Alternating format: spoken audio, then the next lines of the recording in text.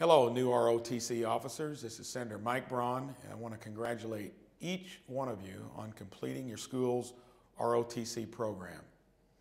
Balancing the demands of your ROTC program with your studies took discipline and dedication, and for that you should be proud.